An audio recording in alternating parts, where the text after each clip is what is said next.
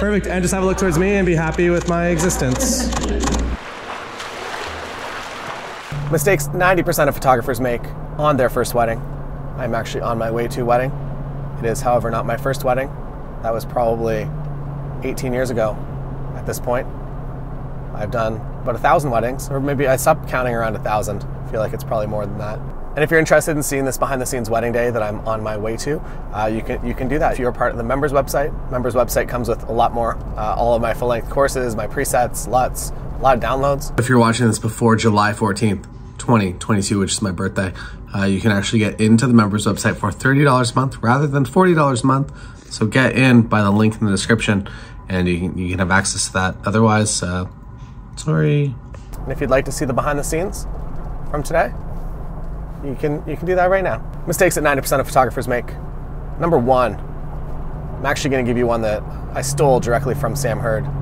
He's a friend, and I hope that he doesn't mind me stealing. I'm giving him full credit here. If you want to use reference images for your first shoots, if you're just not sure, you think you're going to forget poses, and you'd rather just have some photos there, don't have them on your phone. Don't be referencing your phone, looking up and down, and scrolling and being like, "Hey, can you do this?" You can do it in a sneaky way you can actually take the photo. So you can either take the photo or you can load them onto your memory card. So they are the first images that you actually see whenever you hit the right button. So you're, taking the photos and then you hit right and it goes to the, the first image. And that can be anything. That can be your day of schedule, that can be a photo list, or those can be poses and images for you to quickly reference throughout the day. So thanks Sam Hurd for tip number one. Number two is to take a single photo before you leave the house. So you pick your camera up, you load your bag, you're, you're on your way out the door. Take one single photo to make sure that everything's functional, that you have cards in the camera, that your battery's charged, just by doing that simple task of taking a single photo, it will save you from doing something silly like not bringing your cards to wedding day. Also, stash cards everywhere. Have cards in the glove box of your car and your wallet or your purse. Make sure you always have backup cards because it is a thing that you will forget at some point in your career. And I've actually seen lots of professionals uh, do this, unfortunately. Next up, having the wrong lenses. If you think you're going to bring the kit lens that came with your camera to the to a wedding day, I would recommend bringing a 50 millimeter lens to at least accommodate. You can get a lot better photos with a 50 than you can with a kit lens, especially when it starts to get really dark. I know high ISO on cameras is great these days, but it is important to have the correct tools for the job. So don't stress, don't bring 150 lenses. You don't need to bring the full kit, including your, your wildlife lenses, but definitely make sure you're bringing the correct lenses for a wedding day. I have lots of videos on the channel if you want to learn more about gear. Next up, going it alone. If you know somebody that shot a lot of weddings and they can be your second photographer on the day, first wedding day for you, bring them.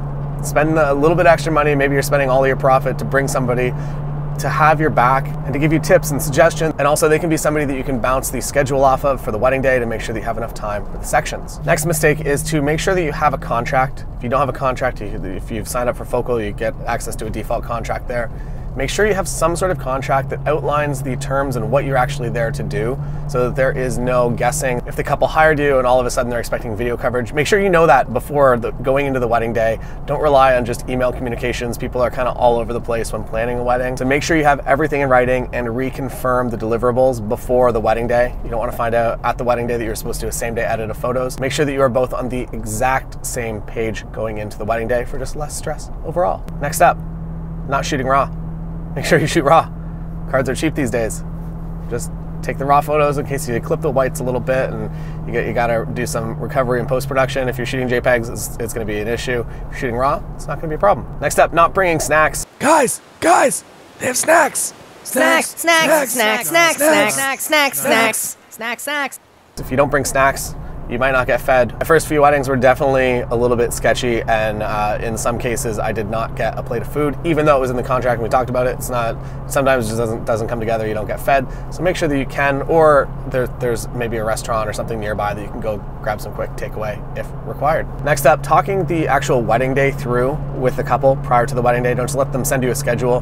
Make sure that you kind of talk through all the pieces. A lot of information comes out of that. That oh cool, you're doing a first look, but there's it's not in the schedule. Uh, we should include that somewhere. Or maybe they forgot to include travel time. It's a much better thing to figure all of that out prior to the wedding day rather than arriving and realizing you don't have enough time. Next up, studio management software. Set this up from the very beginning it is the biggest pain to try to go if you've already booked a full wedding season to try to enter all of that into some sort of studio management system. Do it from the beginning. You can you join up over at Focal and you can actually invoice people and start getting paid and everything just looks very very professional and it doesn't take a lot of time to set up. Next up, take more detail photos than you would expect. One, because uh, quite honestly, you're going to come back and your details aren't going to be as strong as you thought that they were because you're, you're probably in a compressed timeline and you have to do them quick. So overall, it's going to make your couple a lot happier. Beyond that, they are also incredibly good marketing assets if you are trying to get into the wedding photography industry. It is important to create marketing material, and creating marketing material and doing detail photos pretty much is going to be what any venue wants. That they're going to want maybe a couple of photos of the, the couple themselves, but for the most part, they're going to want to see the table setups, the way that they did the room, and you're going to start a very good venue vendor relationship right off the start if you do good detail work. Also, if you're getting published in magazines or you might get published in a magazine someday, it's pretty detail heavy. So make sure that you are getting details. Make sure your detail game is strong, and uh, don't just assign them to the second photographer and, and, send them out to do them. Make sure that you get the images that you want yourself, and make sure that there is a little bit of time in the timeline in order for you to do that. Next up, charge your batteries.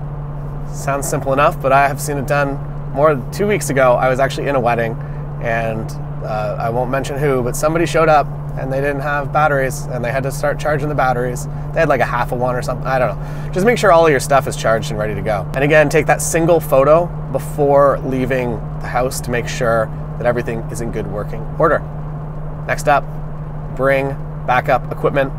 As a wedding photographer, it is critically important that if your main camera goes down, fall into a fountain, whatever it might be, you gotta have backup gear ready to finish the day, and your iPhone is unfortunately not going to be the best tool. Next up, couple's probably going to give you a shot list. Maybe maybe they're going to give you some family photos whatever it might be.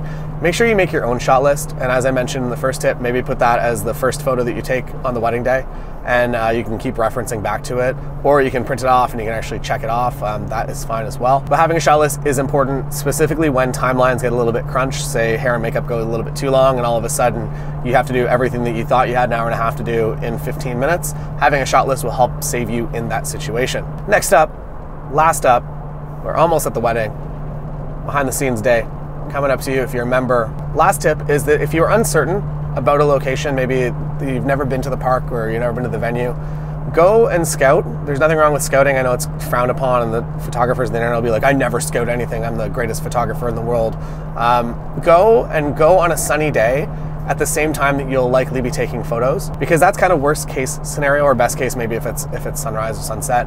But i would say middle of the day like it is right now going to scout the location that i'm going to have to do photos at is helpful and it shows me the worst case scenario. So if it's cloudy, I get there, it's cloudy, perfect. The, the light's good everywhere and it's not a problem. But to prepare for the worst case, we'll at least give you a, a few spaces that if families like, where can we go for family photos? And you have that one covered area that's open shade, you can suggest that as one less decision you have to make on the wedding day.